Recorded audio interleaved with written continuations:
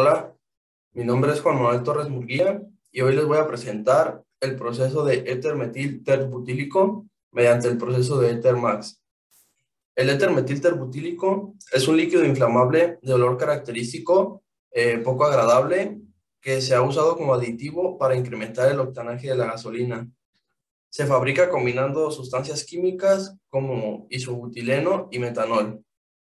Ahora vamos a pasar al, al, diagrama para explicar cómo va. Primero, eh, el isobutileno que está aquí abajo eh, se combina con el metanol, aquí en este punto, y estos dos eh, se juntan junto al refinate 1, que es el C4, y después se, se introducen al reactor. Una vez en el reactor se hace la mezcla y pasa a la siguiente parte del reactor, y una vez que está en esta parte, este, podemos observar las, las obras de, de, C4 y metanol, que son las que están aquí arriba, son obras de, de la mezcla que se formó. Y una vez que, que pasa esto, se, se, transfiere acá a la parte de extracción. ¿Esto para qué? Para extraer el, el C4 de, de, la mezcla de MTBE, de etermetilterbutílico.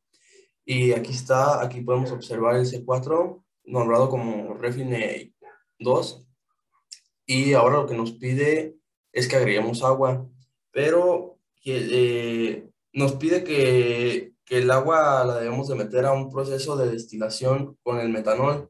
Entonces aquí está el metanol y aquí está el agua, ese es el proceso de destilación y una vez que está el proceso de destilación, de destilación el agua eh, pasa por aquí, ingresa por acá y aquí baja.